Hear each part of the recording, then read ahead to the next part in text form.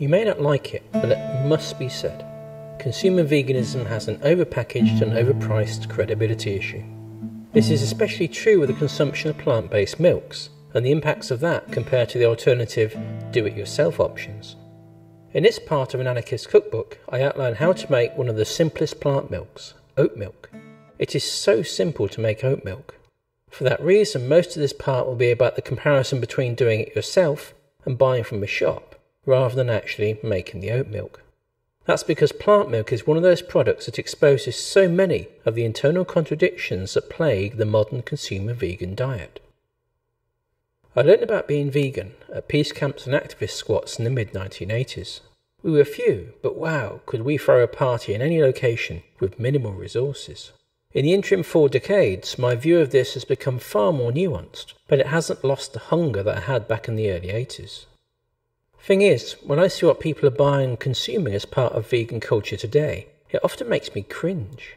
There may be a burgeoning amount of vegan products to be bought in the shops now, but given their essential characteristics and the excess of packaging, do they actually represent any real change for the principles they claim? Almost 40 years on, the pattern of how veganism is, quite literally, sold today presents a complete opposite of the deep green approach that inspired me. Modern veganism is not, as I perceive it, a practice rooted in seeking a connection to the earth and all life thereon. It's simply mainstream consumerism with all its deleterious impacts on animal life, rebranded for a more affluent audience. Oat milk is made from three things water, oats, and energy. That last part, the energy provided by your arm, or the power socket, or the manufacturing plant, is what changes the ecological equation. How you do this is up to you, but bound up within that are the factors which tie your lifestyle to the broken and exploitative globalized food system. For me, the major issue with oat milk is price, as shown in this table. It shows the price per litre for different brands of oat milk, averaged from Amazon, Tesco, and Waitrose. In comparison, below that I show the costs of making oat milk from porridge oats, including the cost of the tap water and washing up. As the table shows, I can make oat milk for almost a fifth the cost of many brands available in the shops. For me, buying oat milk is prohibitively expensive compared to the cost to do it yourself. Making a litre or two of oat milk takes an incidental 30 minutes over a day, alongside other cooking activities in the kitchen that are part of how I live as simply and cheaply as possible. More importantly, making oat milk yourself extends your personal choice. Take, for example, the consistency of the oat milk. The only oat milks that approach that are the more expensive brands, costing £2 a litre or more, which contain a higher proportion of oats. I find most oat milks to be too watery and lacking in taste as a result. To make oat milk by hand or using an electric blender involves six steps. Step 1 Select your oats.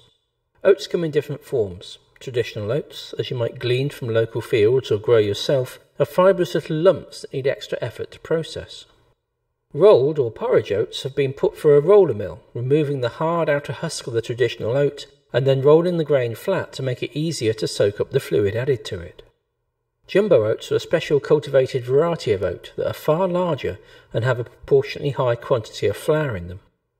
Finally, oatmeal or oat flour has been completely milled and sieved into flour and can be used to make instant oat milk without the need for prolonged soaking or straining but I find oat milk based milk has a dry, powdery rather than smooth taste. Which to use is a matter of preference or taste or whatever is available. Step 2 Soak the oats. Theoretically, if you quickly douse the oats in boiling water, stand for a few minutes, and then use a lot more energy, you can skip this step.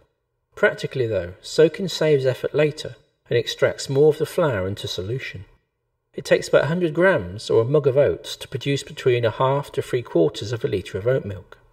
Put the oats in a container, fill to just above the level of the oats with water, then allow to stand for two to six hours while the oats soak up the fluid.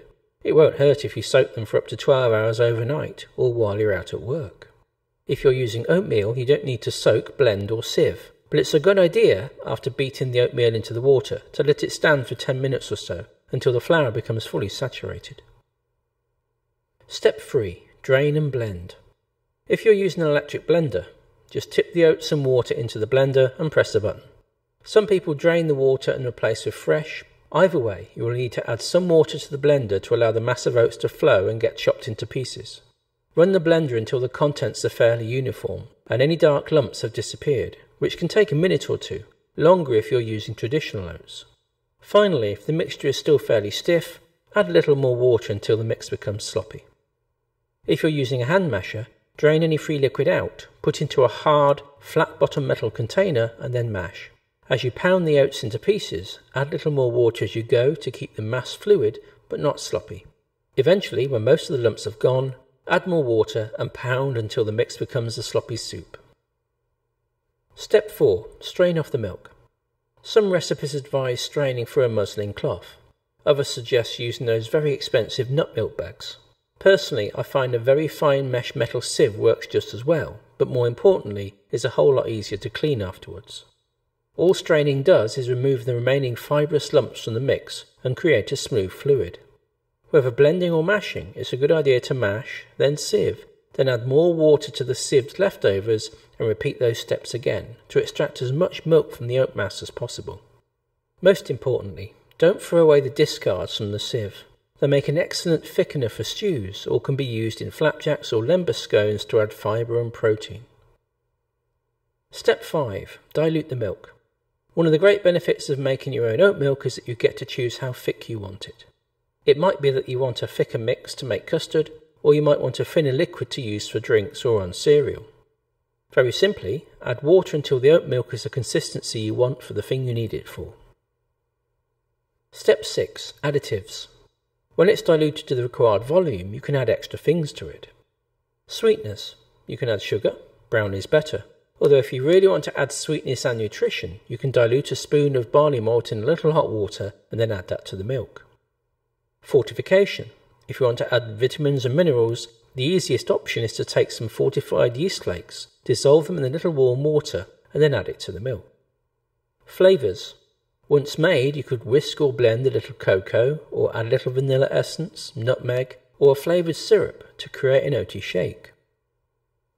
Finally, I always make more oat milk than I can easily use. What I can't use immediately, I freeze into blocks.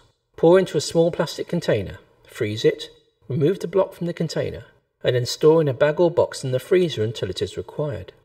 If you want to freeze oat milk, it's better to do that before you dilute it, because it takes less space and takes less energy to freeze as well. When you thaw it out, you can then add water to make the consistency for the recipe or use required. Shop bought oat milk, of whatever variety, has something very important which my own made oat milk does not packaging waste. A typical plastic coated paper carton for food use has one layer of card, one layer of aluminium, and three or four layers of plastic. Most people focus on the waste side of this problem, but let's look at a rarely considered issue in this debate water use. According to Tetra Pak's own life cycle analysis report, to create a 1 litre drinks package requires almost 2.5 litres of processing water and almost 1.5 litres of cooling water. Just to make this point more loudly, I'll repeat that in bold.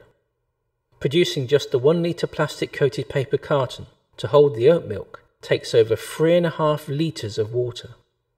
As the life cycle analysis report says, that's still better than glass bottles. But what about the do it yourself option?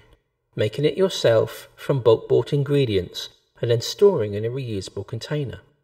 That option is never explored because it challenges the core assumption of the consumer lifestyle buying as much stuff as possible, throwing it away, then buying some more.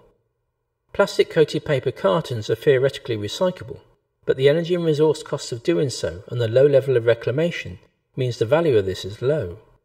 By any reasoned measure, recycling these cartons is just PR greenwash to make consumers feel better about buying them. For me, making 5 to 6 litres of oat milk creates one empty 2 gram plastic oats bag as waste. I reuse all the discards from making the milk in cakes or stews. In contrast, 6 empty 1 litre containers together weigh 65 to 90 grams, depending whether it has a plastic screw lid or not. Why do industry and government refuse to enact measures to control climate change or ecological destruction and drastically reduce energy consumption and pollution? precisely because such measures would mark the end of the modern, affluent consumer lifestyle. More peculiarly, why do green consumers believe they can buy their way to ecological sustainability through using the right products, rather than changing that lifestyle of convenience for something simpler? The objective facts speak for themselves. I don't take milk in my drinks. I use oat milk for more culinary needs, like making custard, puddings, or as a thickener. Milk in tea or coffee is an affectation. Why then do people expect to have milk in their drinks or on their cereal? Picking apart that history, certain trends arose only recently in industrial society, as their use was made possible by mass production and improved transport links, and the systems of often exploitative economic trade relations which arose as a result of these. As we move into a more uncertain future, where ecological overshoot and climatic change portend a breakdown of that mass consumption system, do it yourself represents the simplest option to meet our needs. Learning how to do that, starting with the simple things like plant milk, is a means to learn these skills to prepare for that eventuality, as well as saving money in ecological impacts compared to the shop bought options.